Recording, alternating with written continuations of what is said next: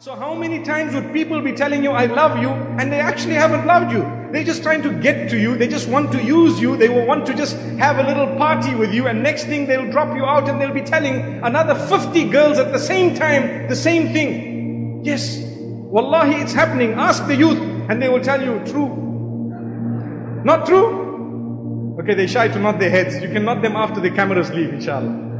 May Allah forgive us, really. Do not do that. Do not abuse people. They are someone's sisters, someone's daughters, someone's mothers, someone's, for example, aunts and so on, just like you have. You would not like your relatives to be abused. Why are you abusing others?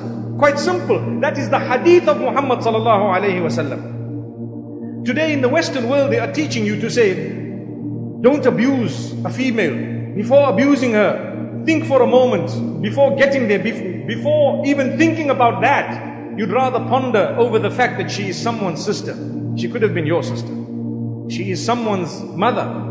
She is someone's daughter. Well, that's taken directly from the words of Muhammad sallallahu alayhi wasallam. He says, when a man came to him and told him, O messenger, I want to commit fornication. Wow.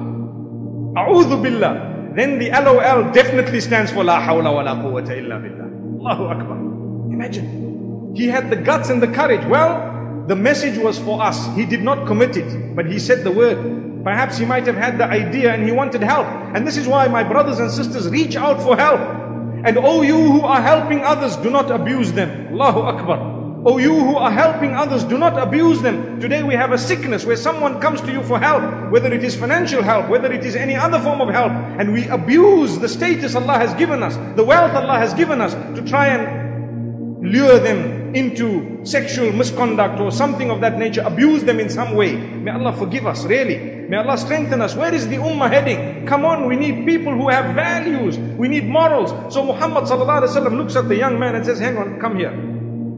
Would you like it for your sister? He says, no, I wouldn't, not at all. Would you like it for your mother? Someone does it? He says, no. Would you like it for your daughter? No. Well, they are all sisters and mothers and daughters of someone. So how would you? He says, I understand. I will not do this. Wallahi, I will never do this. Amazing. Today the West is teaching us something after they have sl slid into difficulty.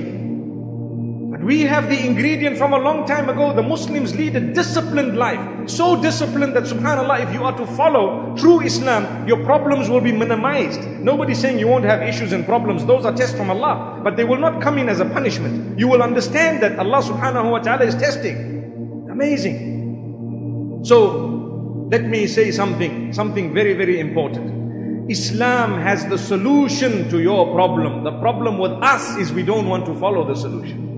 Imagine the doctor tells you, you need to drink this, it's a little bit bitter, but you need to have it morning, afternoon, evening. In fact, let me make it more interesting. The doctor says, you want to really be cured from this huge disease you have, you need to get up at 15 minutes past 2 every morning and have 5 spoons of this. Wallahi, you'll be getting up at 13 minutes past 2 and waiting the other 2 minutes. As soon as it clicks 15, you'll be drinking it because you want cure.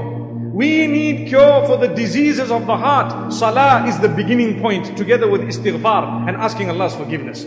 Ask Allah's forgiveness. He loves you.